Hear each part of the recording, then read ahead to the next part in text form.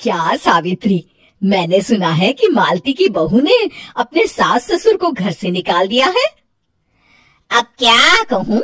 आजकल की बहुओं का कोई भरोसा नहीं है। कब क्या कर दें मालती की बहू को देखकर कौन कह सकता था कि वो ऐसी निकलेगी? तू सही कहती है। आजकल की बहुओं को देख मुझे तो बड़ा डर लगता है। कहीं मेरी बहू भी ऐसी निकल गई तो? नहीं नहीं मैं तो गाँव की सीधी साधी लड़की से अपने बेटे की शादी करवाऊँगी। इस तरह एक दिन गायत्री अपने बेटे की शादी गाँव में रहने वाली मीना नाम की लड़की से करवा देती है। ये लीजिए माँ जी आपके लिए गर्मा गर्म नाश्ता और चाय। अरे वाह बहू सच कह रही हूँ जब से तू इस घर में आई है मुझे तो बड़ा आराम है। तेरे जैसी बहू तो किस्मत वालों को मिलती है। का माँ जी। अब इतनी भी तारीफ़ मत करिए ना। धीरे धीरे मीना गायत्री की चहती बन जाती है और मीना भी गायत्री को कभी शिकायत का मौका नहीं देती थी। फिर एक दिन ये ले बहू आज मैं बाज़ार से तेरे लिए साड़ी लाई हूँ। साड़ी देखते ही मीना का मुँह लटक जाता है। माँ जी ये भी कोई साड़ी है?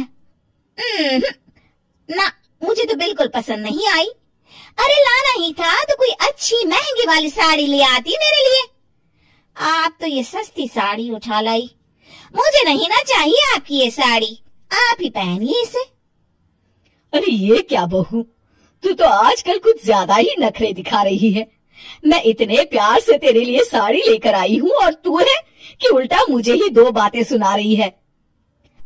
अरे माँ जी आप अपने लिए तो बड़ी डिजाइनदार और महँगी महँगी साड़ियाँ खरीदती हैं।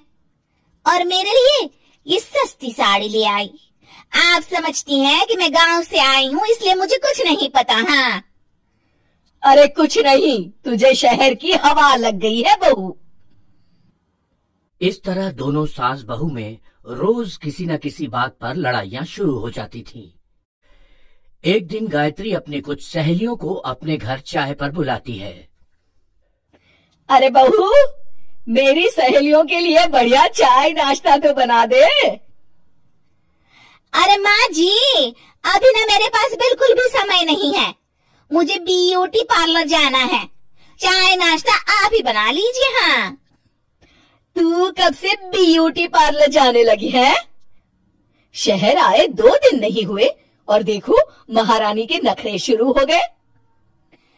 बस भी करिए माँ जी आपसे बहस करने के लिए मेरे पास ना बिल्कुल टाइम नहीं है। आपका कहा है, आप समझती हैं कि मैं गाँव से आई हूँ तो मुझे कुछ नहीं आता। और आप जो रोज रोज मुझसे मेहमान नवाजी करवाती रहती हैं, नौकरानी की तरह। मीना के कमरे में जाते ही। अरे, ये क्या गायत्री? तू तो अपनी बहू की बड़ी तारीफ़ कर रही थी। लेकिन ये तो तुझे कुछ समझती ही नहीं। भाई, मुझे तो लग रहा था कि तेरी बहू गाँव की है तो सीधी सादी होगी। लेकिन इसने तो शहरी बहुओं को भी मात कर दिया। हाँ। अपनी सहेलियों के सामने अपनी बेइज्जती होते देख गायत्री आग बबूला हो जाती है। अरे क्या शहर और क्या गाँव? मेरी तो किस्मत ही फूटी थी जो मैं इसे बहू बना के ले आई। भगवान जाने आगे और क्या क्या करेगी। अब तो मुझे कुछ ठीक नहीं लगता। तू जरा संभल के रहना। कहीं मालती की तरह तेरा भी हाल बेहाल ना हो जाए। अच्छा अब हम चलते हैं। अपनी सहेली की बातें सुनकर गायत्री थोड़ी घबरा जाती है। अरे ये सुशीला क्या बोलकर चली गई? कहीं इसकी बात सच ना निकल जाए।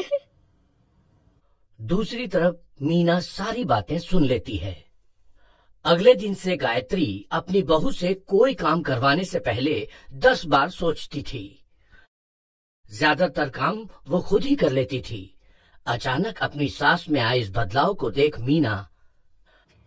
लाइए ना माँ जी मैं कर देती हूँ ना काम। एक बात पूछू माँ जी आजकल ना आप बड़ी चुप चुप सी रहती हैं। और अब मुझसे झगड़ना तो दूर मुझसे खुल के बात तक नहीं करती आप। अब कुछ नहीं बहू ऐसे ही। मीना अपनी सास की मंशा भाप जाती है और मुस्कुराते हुए कहती है अरे माँ जी, चिंता मत करिए। मैं आपको घर से नहीं ना निकालने वाली। ये डर आप अपने मन से निकाल दीजिए। अरे छोटे मोटे झगड़े तो हर घर में होते रहते हैं। चाहे कुछ भी हो जाए, आप मेरी सासू माँ हो। मैं तो ज़िंदगी भर आपकी सेवा करूँगी माँ जी। अपनी बहू की बातें सुन गायत्री को एक प्रकार का संतोष होता है। और उसकी सारी चिंताएँ दूर हो जाती है। गायत्री अपनी बहू को गले लगा लेती है। मुझे माफ़ कर दे बहू। मैं तुझे गलत समझ बैठी थी। कोई बात नहीं माँ जी। ये ना घर घर की कहानी है। हाँ।